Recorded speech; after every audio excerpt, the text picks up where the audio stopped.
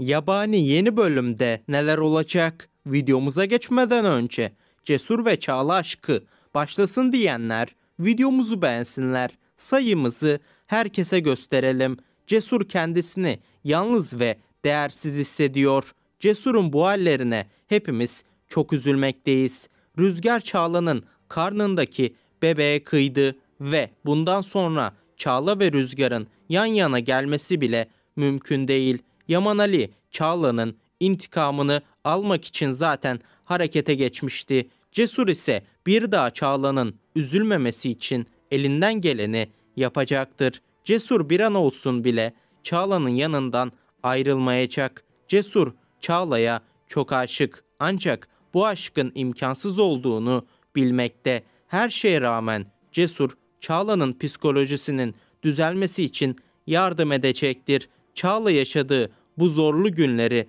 Cesur sayesinde daha kolay atlatacak. Çağla rüzgar takıntısından tedavi görerek kurtulacaktır. Tedavi sürecinde Yaman Ali, Asi ve Cesur Çağla'ya çok destek olacaklar. Tabii ki Alaz'ı da unutmayalım. Alaz da Yaman Ali ve kardeşleriyle çok iyi anlaşacak. Bu süreç bittiğinde Çağla Cesur'a daha yakın olacak. Çağla bugüne kadar Rüzgar'dan hep hakaret işitti ama Cesur Çağla'ya hep güzel sözler söyleyip onu hep mutlu etmeye çalıştı. Böylece sonunda Çağla da Cesur'a aşık olmuş olacak. Yaman Ali de zaten Cesur'un ne kadar iyi biri olduğunu ve Çağla'yı koruyup kollayacağını bildiği için Cesur'un Çağla ile olmasına izin verecektir. Cesur ve Çağla aşkı hepimize iyi gelecek arkadaşlar. Çağla'yı böylece daha çok sevmeye başlayacağız.